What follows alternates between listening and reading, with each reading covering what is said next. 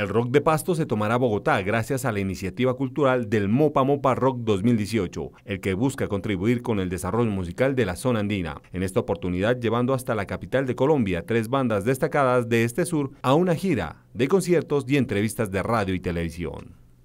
Sí, el Mopa Mopa para nosotros se presenta como una oportunidad muy grande para ir a mostrar tres productos eh, interesantes dentro de la música alternativa de la ciudad de Pasto, los cuales son Son Palo Verde, Bless y pues mi proyecto Gaos. Eh, para nosotros es una gran ilusión, tenemos muchas expectativas de mostrar nuestra música en la capital. Esta gira musical tendrá presentaciones en vivo, también una gran oportunidad para que los jóvenes talentos comiencen a conocer y disfrutar del mundo de la farándula que los puede catapultar hacia los mercados nacionales e internacionales. Mopa Mopa es una producción que se está haciendo a nivel nacional. Eh, vamos a Pasto, se va a tomar Bogotá. Vamos a estar con productora Barba Negra y Rey Lagarto, la fundación, eh, los cuales nos van, a ayudar eh, a hacer esta promoción tanto de medios como esta gira que se va a hacer por Bogotá.